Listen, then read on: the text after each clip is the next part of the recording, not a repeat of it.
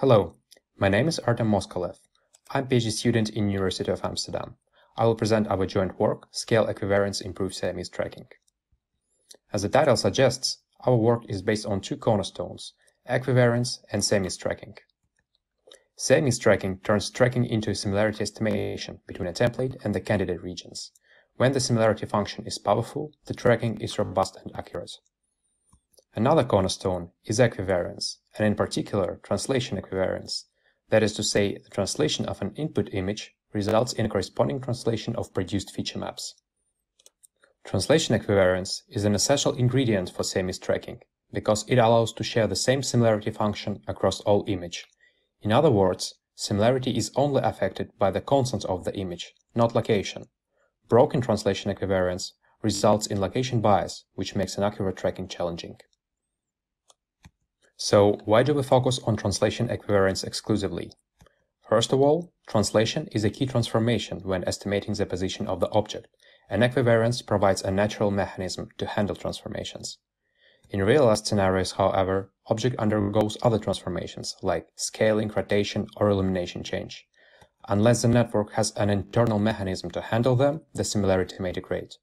In this work, we focus on scaling, and argue that analogous to translation equivariance, the lack of scale equivariance causes scale bias when estimating the similarities and thus makes tracking challenging.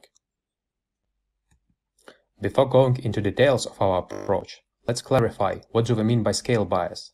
Consider two Siamese trackers, a standard one on the left and its scale equivariant extension. If two objects appear on different scales, it's challenging for a standard tracker to explicitly compare their features, the tracker in such a setup will most likely be biased towards objects of one size. Scale equivariant tracker, on the other hand, can effectively model interscale similarities, and thus is not biased towards a specific size of the object.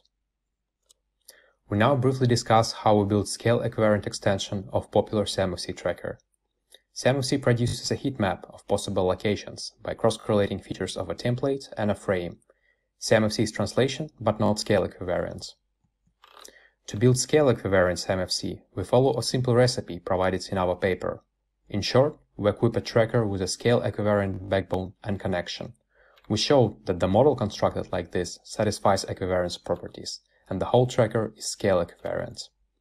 We also note that such recipe is generic and applicable to the wide range of Siamese trackers. Please refer to our paper for more details. To evaluate the benefits of scale equivariance, we construct two toy datasets with isolated factors of variation, namely translated MNIST and scaling MNIST. We follow 2x2 testing protocol. The model is separately trained on either translated or scaling MNIST and then is subsequently tested on both. On these toy datasets, scale equivariant SiamFC outperforms its conventional counterpart in all scenarios. We analyze tracking results on the toy data to investigate the sources of performance gain. The results on scaling MNIST suggest that the scale equivariant model has a superior ability to precisely follow the change of target size. The experiment on translating MNIST show that our model robustly preserves the size of the object when it stays constant, which is a task that the baseline struggles with. Next, we conduct benchmark experiments to compare the scale equivariant tracker with other popular Siamese architectures. In this work, we built on top of the recently introduced SIAMFC+. As we can see, making the tracker scale equivariant brings 3% increase on OTB and more than 17% boost in expected average overlap on VOT benchmarks. That indicates the benefit of scale equivariance in visual object tracking. We also investigate the performance of the scale equivariant model against the baseline on various factors of variations on OTB.